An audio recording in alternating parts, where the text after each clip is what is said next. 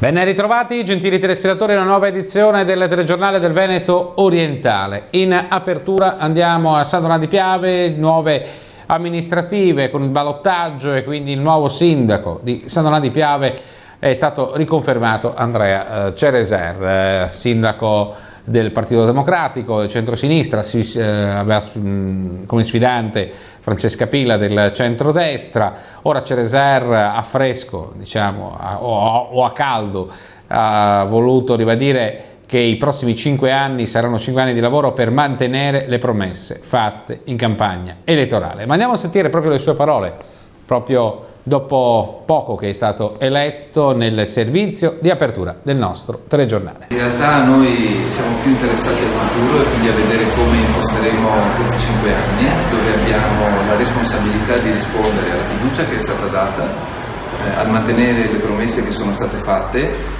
ma sono convinto che se eh, avremo lo spirito con cui siamo arrivati sino a qui eh, riusciremo a, a, fare tutto quello che abbiamo detto e quindi questo è sicuramente positivo per me anche con la consapevolezza di non essere solo ma attorniato da, da un grande numero di persone di gran cuore, di gran competenza e anche serietà. Siete però un'eccezione a livello nazionale. Siamo un'eccezione, io mm, penso che possa essere interessante eh, diciamo, cercare di capire come siamo arrivati a questo risultato eh, e soprattutto perché abbiamo dimostrato che si può fare politica senza necessariamente sbraitare o delegittimare l'avversario o denigrarlo, ma concentrandoci appunto sulle proposte, sui contenuti e anche su un modo eh, che cerca di, di, far sì che ogni cittadino si senta eh, appartenere a una comunità, a una città e possa dire la sua ed essere anche protagonista. Qui il centrodestra non era unito, questa cosa forse in parte è verità. Ma sicuramente eh, diciamo, il fatto di aver assistito a queste lotte eh, all'interno di, di, due grandi ambizioni, eh, soprattutto eh, e senza un reale interesse e passione per la città, ci ha aiutato, non c'è dubbio. Però devo anche dire che sin da luglio dell'anno scorso, quando è cominciata questa campagna elettorale, il mio appello è stato per tutti i cittadini di buona volontà, disponibili a impegnarsi per una città su temi che spesso non sono né di destra né di sinistra ma appartengono appunto a ciascuno di noi e quindi io sono contento anche di questo risultato e della risposta che c'è stata. Da dove si riparte? Beh, si riparte tirando un bel sospiro, eh, prendendosi qualche giorno di riposo e poi cominciando nella scelta di una squadra che sa eh, che tipo di lavoro lo attende per intensità per impegno, eh, però consapevoli che non si è da soli. Il programma è quello che abbiamo depositato, per il quale siamo stati votati e quindi la linea è tracciata e adesso si tratta di, di mettere in atto e praticare quello che abbiamo già scritto. Adesso, senza per forza voler salire in cattedra, però eh, questo può dare in qualche modo anche qualche indicazione per un centro-sinistra che sembra veramente in crisi e in difficoltà, cioè si può ripartire dalle esperienze che funzionano, qual è la lezione che può dare questa esperienza?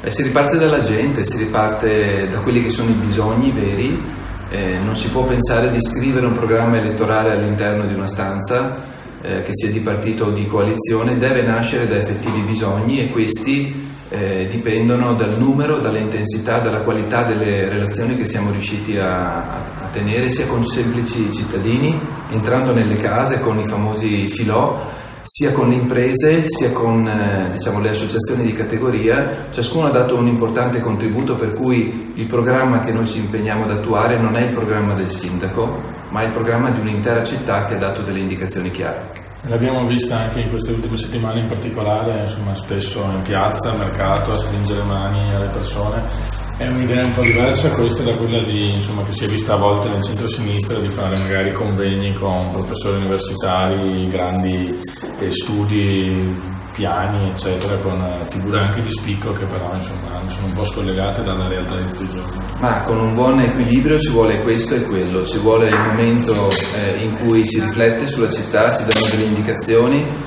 eh, si traccia una visione della città, ma poi anche la necessaria attività di convinzione e di condivisione con i cittadini, perché eh, uno sguardo va rivolto sicuramente alle stelle, ma l'altro anche al marciapiede, quindi mettere insieme, fare sintesi di questi elementi, accompagnare la città in un momento storico difficilissimo come è questo, ecco, sono tutti elementi che devono stare in equilibrio tra loro. L'ho detto prima con una battuta, visto che è anche il centenario della fine della prima guerra mondiale, avete tenuto la linea del piano. Sì, per noi diciamo, è un momento storico importante perché sono questi i giorni del eh, centenario della battaglia del solstizio, la seconda battaglia del Piave, quella che di fatto ha tenuto eh, il fronte e alla fine è stato il presupposto per la battaglia della, della vittoria, quella di novembre, di Vittorio Veneto. E quindi questo parallelismo sicuramente è significativo, suggestivo e anche riempie di commozione. La cronaca ci porta a Pramaggiore, un eh, silos che brucia con gli scarti di lavorazione, una notte di paura a Pramaggiore per l'incendio alla Ital Decor, l'allarme scattato poco dopo le 23 ancora di sabato grazie a un passante che ha notato quel fumo che si sprigionava verso l'alto. A bruciare il silos dell'azienda di via Pacinotti nella zona industriale di Bressaglia che si occupa della verniciatura di mobili. Dal comando metropolitano di Venezia dei Vigili del Fuoco sono state attivate le squadre giunte a Parmaggiore in forze. Sul posto infatti si sono precipitati in sequenza i pompieri di Pordenone, quelli di Motta di Livenza, arrivati con due mezzi, e altrettanti con i colleghi di San Donà. Fondamentale l'invio anche di un'autoscala arrivata da Mestre che ha permesso ai soccorritori di monitorare dall'alto l'evolversi dell'incendio e di raffreddare poi l'impianto. Le squadre hanno lavorato ininterrottamente per quasi due ore.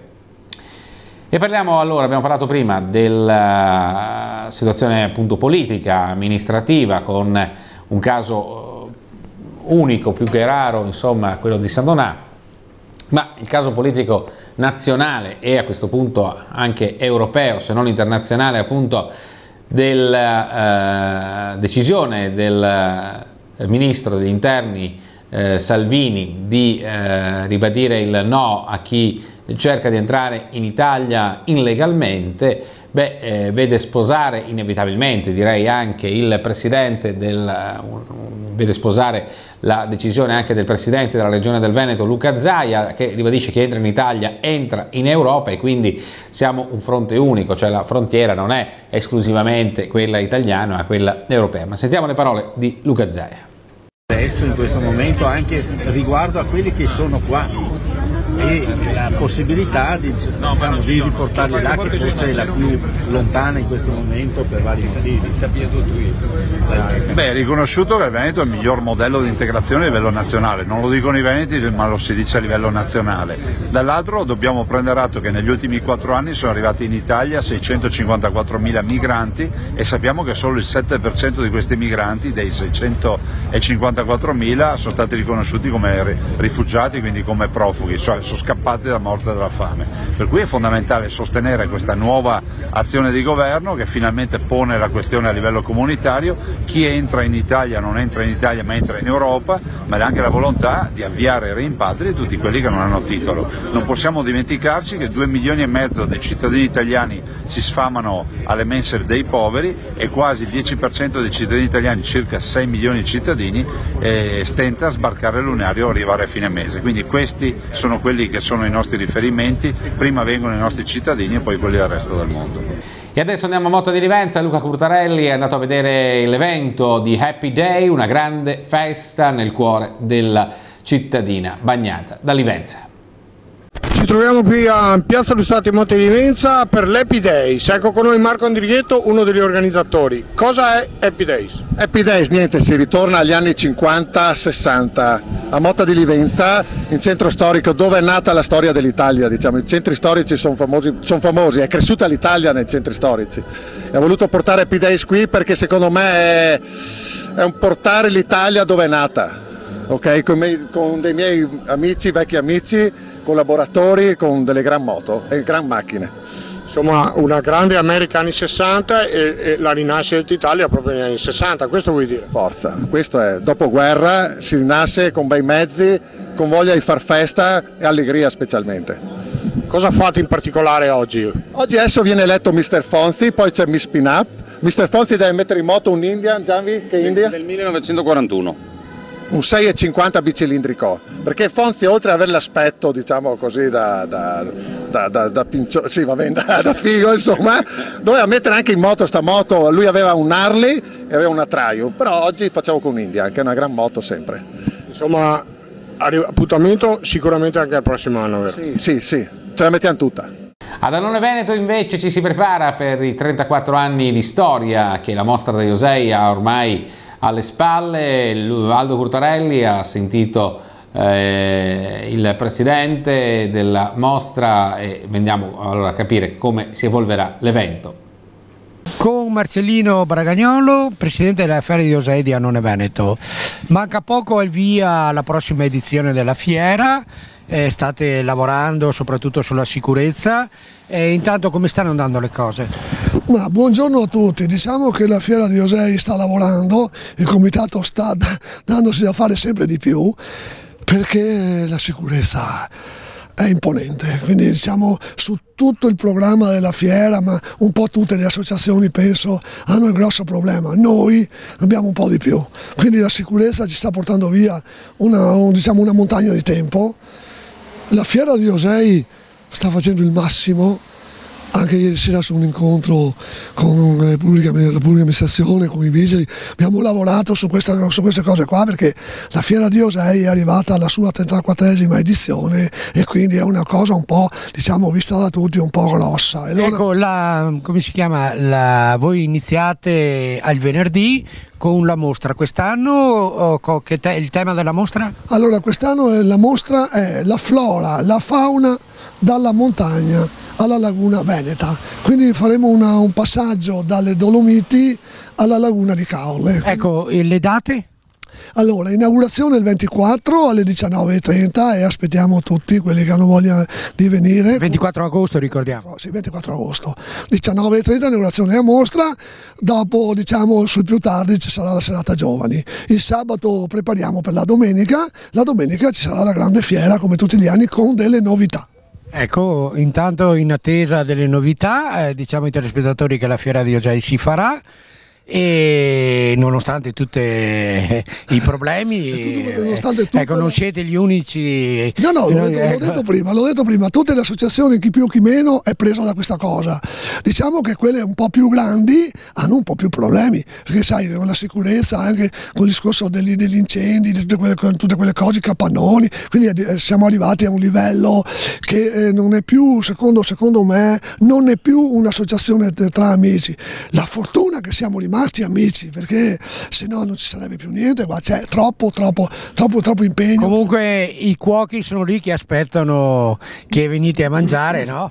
Sì, sì, sì, sì, noi il programma l'abbiamo già messo su, già messo giù, tra poco andremo in pubblicità, quindi andremo fuori con i volantini, con tutto quanto, quindi il programma è fatto, la cucina è sempre quella, se no, se no pensiamo quasi di migliorarla un po', se ci riusciamo, se no manteniamo il ritmo dell'anno scorso, il mangiare più o meno è sempre quello, cambierà un qualcosa, aumenteremo un qualcosa, magari di qualcos'altro di, di novità, ma siamo lì, siamo lì, abbiamo delle novità anche nelle manifestazioni della giornata di domenica e quindi speriamo che sia sempre una bella giornata un ringraziamento già adesso lo faccio subito perché è giusto farlo agli amici sponsor o gli amici della Fiera di Osei come li chiamo io, non li chiamo più sponsor, li chiamo sostenitori della Fiera di Osei.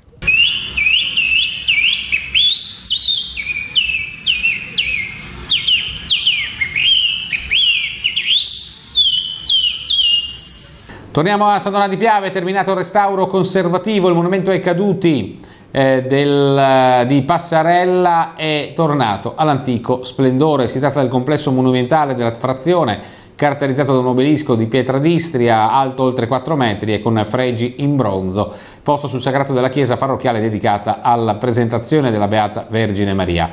L'intervento ha riguardato la pulitura degli elementi lapidei, il loro consolidamento tramite e iniezioni di malta micronizzata, la pulizia e la protezione delle componenti in bronzo e inoltre è stata riparata anche la scalinata, eliminate le infiltrazioni d'acqua, ripristinate le iscrizioni deteriorate o mancanti esterne, a completare il tutto un nuovo tappeto verde il lavoro di ripristino era iniziato ancora lo scorso 2 maggio a cura della ditta Diego Malvestio di Concordia Sagittaria per un costo complessivo di 13.000 euro a seguito di un accordo tra il Comune, la parrocchia e la Curia di Treviso. Andiamo a Ponte di Piave invece, c'è stata una festa per la cantina dei viticoltori di Ponte, sono risuonate le note anche del Piave tra gli applausi di tutti, andiamo a vederci allora a sentire queste eh, incredibili note appunto del Piave a Ponte.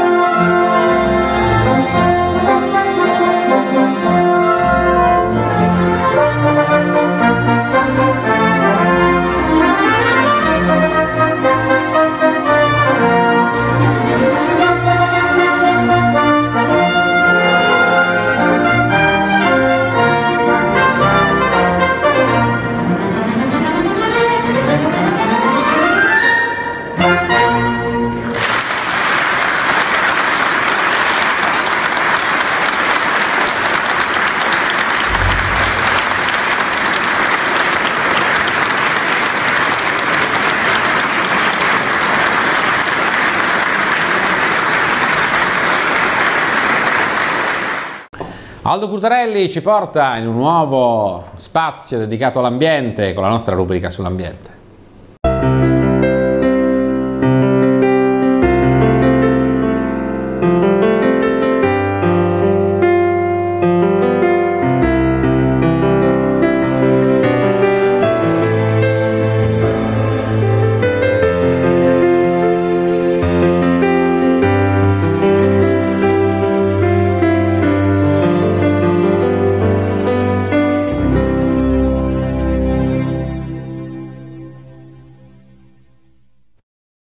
Bentornati telespettatori alla rubrica per l'ambiente.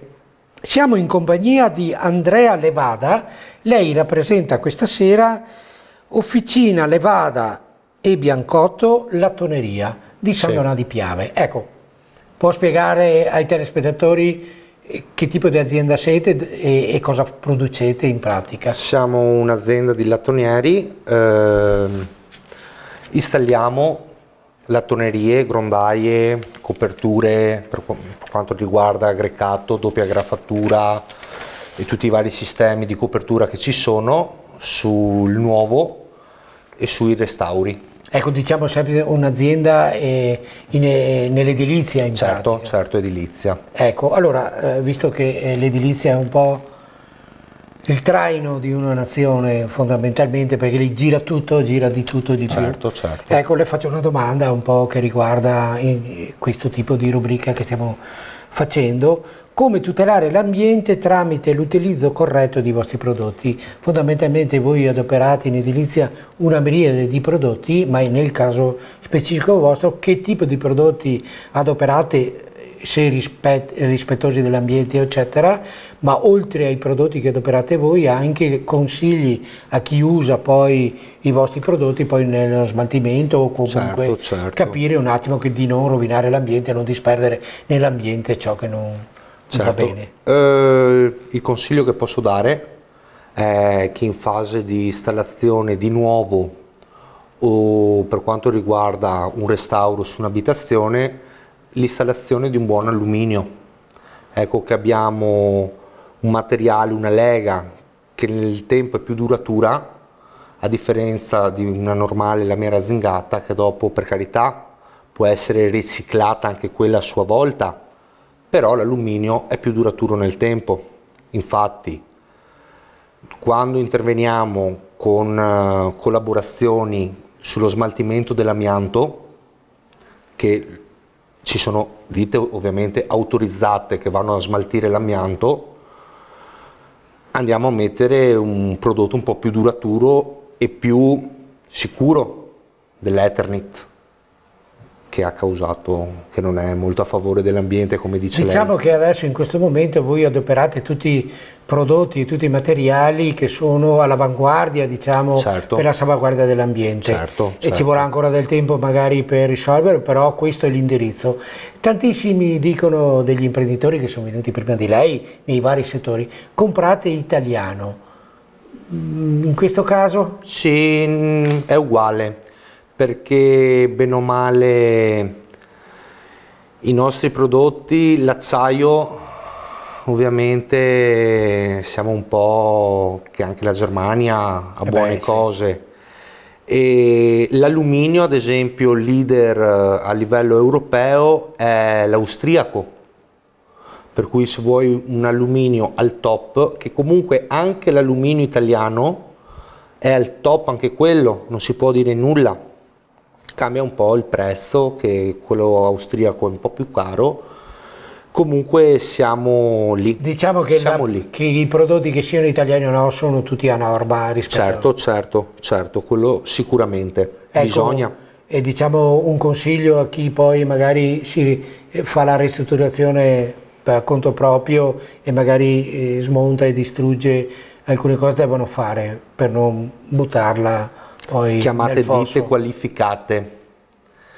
Chiamate ditte qualificate o andate negli ecocentri del vostro paese che sono sempre gratuiti. Non buttiamolo nei fossi. Assolutamente, assolutamente. Ci sono ovunque a San Donà, qui a Portugruaro, un po' dappertutto, ci sono gli ecocentri gratuiti aperti più volte la settimana che ti aiutano anche a scaricare l'auto.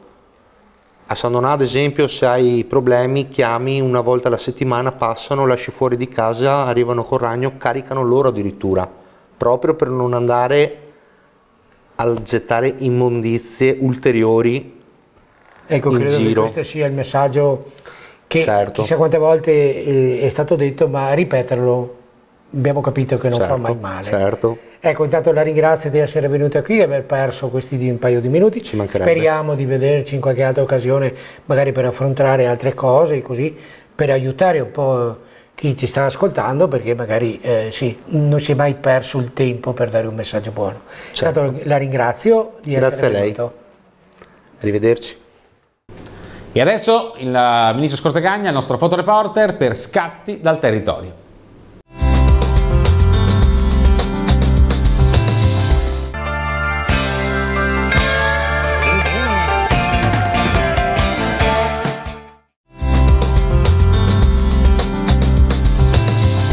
Grazie a Vinicio Scortegagna per gli scatti al territorio per Fotoreporter, grazie a voi tutti, noi ci faremo qui adesso con l'edizione del Friuli del Veneto Orientale, vi eh, esorto a scriverci eventualmente anche sulle nostre pagine Facebook, la nostra pagina Facebook di Media24 se volete seguirci live anche sul canale YouTube. Ci ritroveremo con le altre notizie, buon proseguimento con i nostri programmi, a risentirci.